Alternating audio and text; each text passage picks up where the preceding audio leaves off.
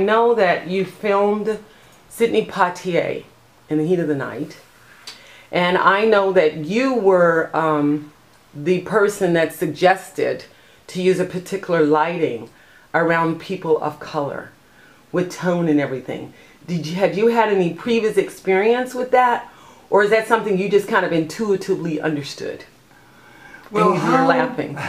how one lights a particular person of color uh, is um, is hardly uh, of, of any consequence vis-a-vis the picture in the heat of the night. Mhm. And um, so anyone who listens to my interview has to know that the important thing about In Heat of the Night was that it was at a time of the civil rights movement. All the people that made the film wanted to make a statement, an artful statement against racism. Okay. And Sidney Poitier and Harry Belafonte and many of black people that I worked with uh, when uh, were active in, in the streets and in demonstrating at that time.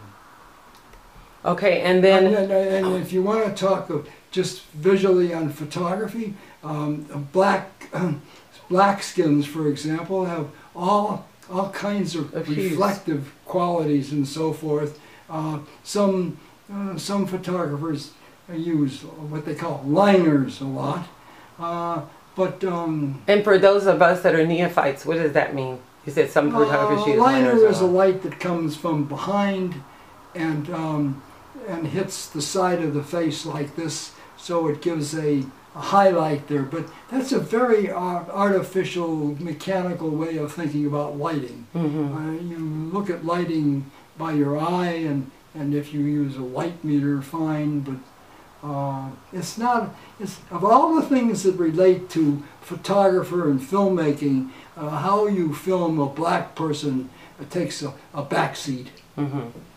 Mm -hmm. Well, we was just talking about in terms of color because I know personally when I modeled, I was a model for a long time, that they used to have to bring in certain kind of lighting just to pick up all the yellow or whatever was in my skin, which is what prompted me to ask the question because I knew that he was, had very dark skin, and I know a lot of people are not aware that you do need a little brighter light or something to bring out those tones. That's why I was asking you that. Now, how has making documentaries, movies, filming uh, with real life issues, not books people read and they form opinions, but dealing out there on the streets with real life issues, how has that changed you as a person? Or do you feel that it's changed you as a person? Has it deepened you as a person? You know, how has it changed you as an individual person? Oh, most of the movies I've made in my life, I'm fortunate enough, helped express what I feel. My real life person has a general attitude toward life, uh, which is, um, which I can't describe. It, it's pretty much uh, what my mother brought me up to, to be, to, to try to be a, a good person, to try to be respectful, to try to um, um, to, to be a, to try to earn a star on the refrigerator, Yeah. and getting a star on the refrigerator is um, is doing good, and not just good for your own personal aggrandizement, but doing good just as a person with your friends and your fellow workers, and even some people that you don't even see or know. Well, so just trying to be a human and, and ex- exercise humanity towards every person. Yes, Basically is what you're- And because we are picture makers, storytellers, we have an obligation to use this artistic, filmic picture making ability uh, to say something, uh, say something that uh, that needs to be said. hmm And then the uh, the other question is that, in your opinion, do politics, arts, and religion overlap, and do they govern our behavior and influence our decisions? Do politics? Art and religion overlap. Like, for instance, President Obama was on the Jay Leno show. The, So- the, the, What do you think about that? the divisions and names of politics, art, and all these things. These are arbitrary confining things.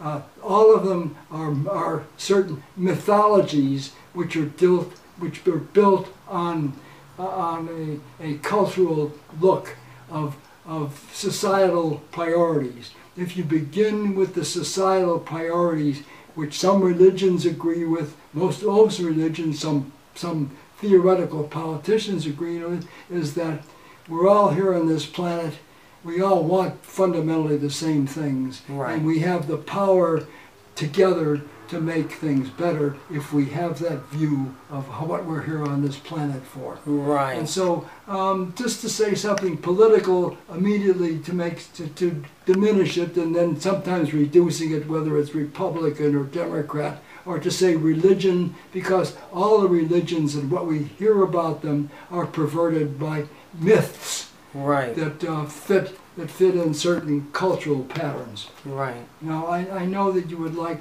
shorter and more um, No, I wanted you to get into detail. things, No. but um, That's what I wanted to hear. Number one, you have artists like Lady Gaga. All of a sudden, art is being mixed into music more than it ever has been before. Uh, you have huge artists like Gaga, Beyonce, in their attempt to uh, do a fuller and more bigger production, draw, will get more money for your bang.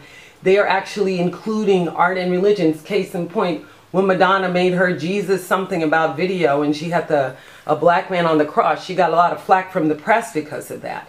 So that's why I asked that question. Did you think they overlap? Because I want to hear your opinion. I know a lot of people what they think, but I wanted to hear somebody that's an expert at filming and filming political um, uh, movies as well as just general movies and uh, you know just uh, common every other, every ordinary day movies. So that's why I asked that question.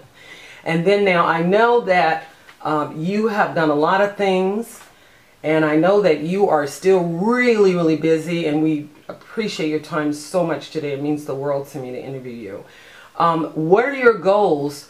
For 2014 and 2015 since I know they usually run a year for movies and those kind of things to come out. Are you uh, working on documentaries now? You're working on another film? You know, tell me. um, um, I'm working on a documentary now. Uh, basically, um, the general subject is based on a book called "War Is a Lie," uh, because we see now that um, all around us that we are, uh, the general population is kept in, in fear of the other.